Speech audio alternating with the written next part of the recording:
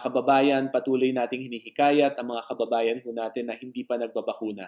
Bagamat mahigit 80% na ng ating populasyon ang nabakunahan, meron pang mga barangay, meron pang mga lugar na malaki pa ang numero ng hindi pa nababakunahan ayon sa ating datos. So we encourage our community leaders, our barangay leaders to reach out to those who are unvaccinated to convince them to get vaccinated.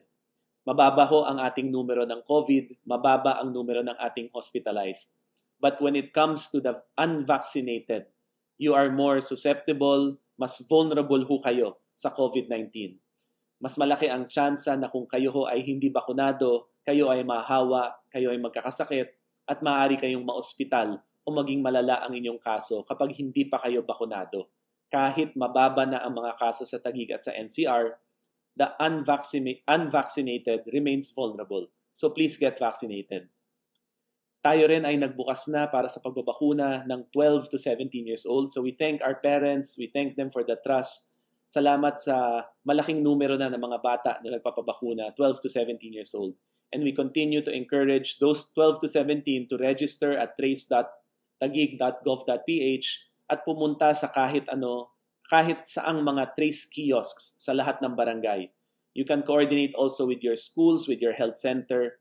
Sa lahat ho ng nakatira at nag-aaral sa lungsod ng Tagig, you are qualified to be vaccinated in the city of Tagig. Pagdating ho naman sa mga boosters, uh, we've already opened up uh, booster shots to those belonging to A1, A2, A3. Ang A1 ho, ito po yung health workers ho natin.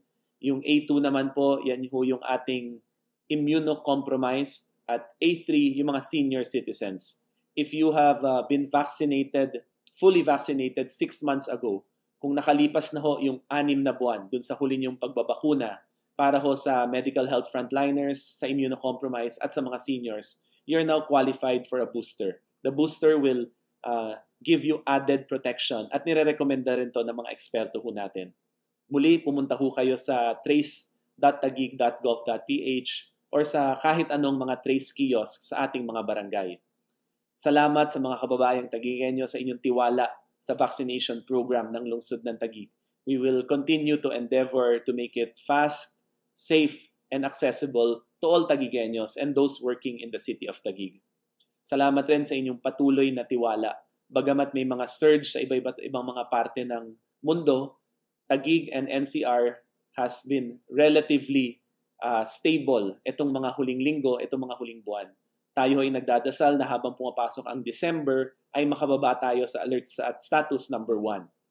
We thank the national government for the continued guidance, the continued cooperation, lalong-lalo na sa supply ng bakuna. Patuloy tayong magtulungan para tuloy-tuloy tayo sa tamang direksyon.